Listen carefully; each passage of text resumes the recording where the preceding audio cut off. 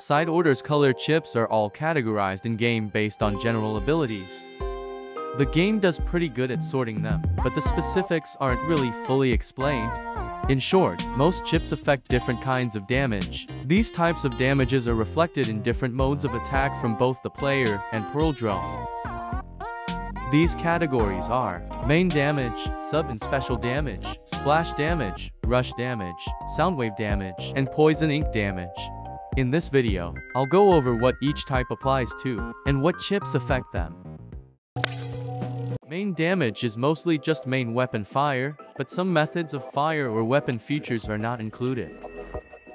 It includes Splattershot and Octoshot Fire, Dualie Fire, Brella Fire, Roller Flicks, Charger Fire, Stringer Directs, not the explosive pellets, Splatana Slashes, not the lunge attack, Slosher Sloshes, Blaster Directs, not the explosion, Brush Swings, and Splatling Fire.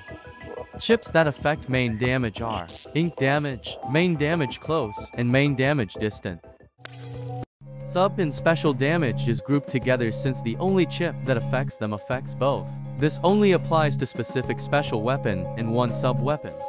It includes Sprinkler, yes that's the only sub weapon, Ink Storm, Trizooka Directs, not the explosion, Crab Tank Rapid Fire and Glob Direct, not the Glob Explosion, Pearl Drone Sprinkler, and the ink from the turbine tower's propellers. Chips that affect sub and special damage are ink damage, that's all. Splash damage is damage done by explosions. So many things count as explosions in side order. These include Stringer's explosive pellets, not directs, blaster explosions, not directs, splat bombs, pearl drone splat bombs, burst bomb splash, not directs, curling bomb explosions, not the sliding, ink mines, pearl drones ink mines, fizzy bombs, and lucky bombs. Those are the main weapons and bombs affected.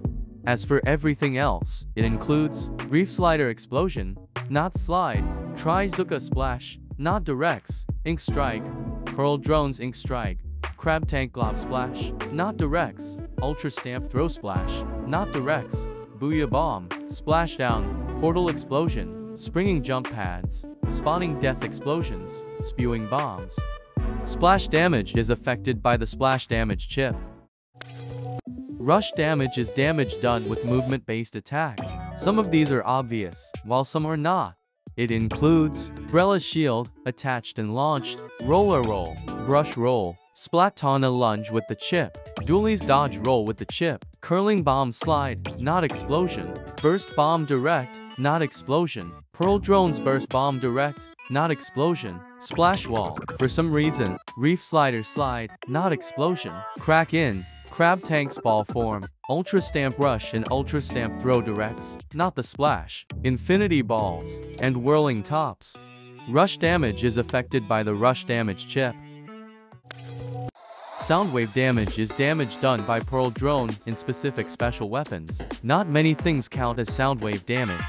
It includes Wavebreaker, Killer Wail, Pearl Drone's Killer Wail, the sound wave from passing a turbine tower checkpoint, and Pearl Drone's Step Off song. Soundwave damage is affected by the soundwave damage chip.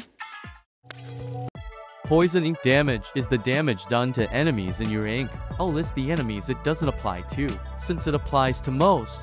Poison ink doesn't affect Swarming Longandos, since they produce their own ink, and Drizzling Capriciosus, since they fly above your ink.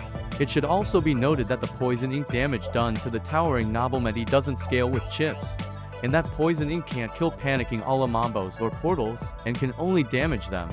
Poison ink damage is affected by the poison ink damage chip.